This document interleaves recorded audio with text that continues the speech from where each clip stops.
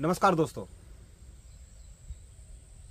गुर्जर गौरव यात्रा, जो कि 29 मई में सहारनपुर ज़िले के गाँव फनपुरी से निकाली गई।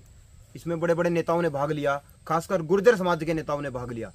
हालाँकि दूसरी जातियों के लोग भी इसमें शामिल रहे, लेकिन कोई बड़ा नेता खुलकर सामने नहीं आया। यहाँ तक कि जयंत चौधरी, जो राष्ट्रीय लोकदल के राष्ट्रीय अध्यक्ष हैं, उन्होंने भी इसके लिए एक ट्वीट किया।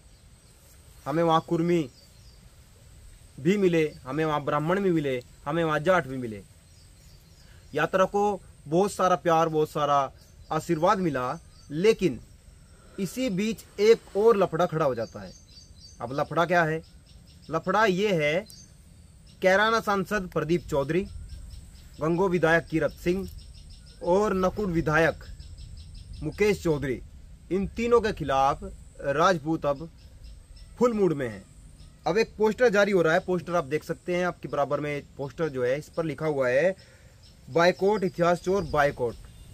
और इसमें एक और चीज़ लिखी है, घोर जातिवादी व राजपूत विरोधी नेताओं का राजनीतिक व सामाजिक स्तर पर पूर्ण बहिष्कार।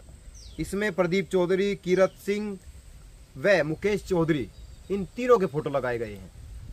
वहीं दूसरी तरफ़, जब से कल जब यह खबर चली कि ढाई हज़ार लोगों पर मुकदमा लिखा जाएगा, ढाई हज़ार लोगों के नाम मुकदमा होगा, जिसमें पचास जिनके नाम लिखे गए हैं, जिनके नाम आए, जो नाम दर्ज हैं, उन पर मुकदमे लिखे जा चुके हैं। जब से यात्रा का नेताओं ने समर्थन किया, तब से यात्रा मज़बूत हो गई। अब एक तरफ़ तो गुर्जर समाज है, एक तरफ़ राजपूत समाज है। दोनों आमने सामने खड़े हो गए हैं अपने इतिहास को लेकर। लेकिन जो नेता हैं उनकी अब टेंशनें बढ़ सकती हैं। बढ़ सकती ही नहीं बल्कि बढ़ गई है। एक तरफ़ तो राजपूतों ने बहिष्कार कर दिया दूसरी तरफ़ गुर्जर समाज भी बहिष्कार के लिए खड़ा हुआ है। आपने जब यात्रा के बारे में देखा होगा आप या पर, यात्रा के बारे में आपने सुना होगा तब इस तरह की बातें चली कि तीनों का गुर्जर समाज भी पूरा विरोध कर रहा है। यहाँ तक कि जो उनके समर्थक हैं वो भी कह रहे थे कि उनकी गलती है उनको माननी चाहिए उनको यात्रा का समर्थन करना चाहिए। एक तरफ़ गुर्जर समाज के लोग कह रहे हैं कि एक नेता है जो पूर्व विधायक हैं सरधना से, संगीत सोम। वो अपने समाज से कह रहे हैं, मैं तुम्हारी परमिशन हूँ, मैं बैठा हूँ, तुम यात्रा निकालो।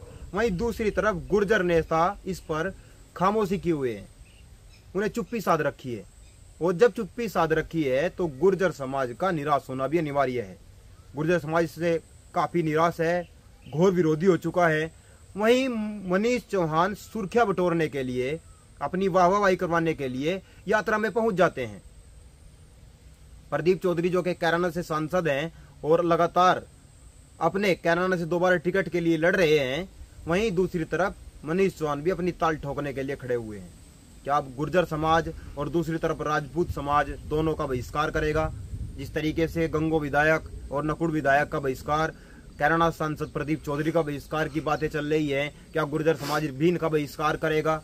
जिस तरीके से हमने गाँव दर गाँव जाकर देखा और हमने जो सुना और जिस तरीके से गुर्जरों ने, खासकर दोनों गुर्जरों ने, हिंदू गुर्जर, मुस्लिम गुर्जरों ने, तीनों के खिलाफ बातें रखी, वहीं दूसरी तरफ़ कैराना वालों के खिलाफ भी काफ़ी बातें हुई कि उनको भी मैदान में आना चाहिए था। क्या कारण रहे? अतुल प्रधान भी आते हैं, लेकिन उनको भी रास्ते में रोक लिया जाता है। इस पर भी बड़ी बड़ी बातें हो रही है।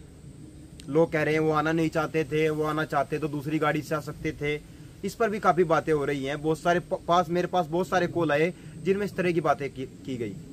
अब गुर्जर समाज और राजपूत समाज दोनों आमने सामने खड़े हैं। क्या कोई आएगा जो दोनों को समझाएगा दोनों को बताएगा कि दोनों का इतिहास एक है या फिर दोनों का अलग अलग इतिहास है? ये तो देखने वाली बात होगी। लेकिन आने वाले 2024 में इसका खामियाजा कौन भुगतेगा? क्या गुर्जर समाज भारतीय जनता पार्टी से अलग होकर वोट करेगा?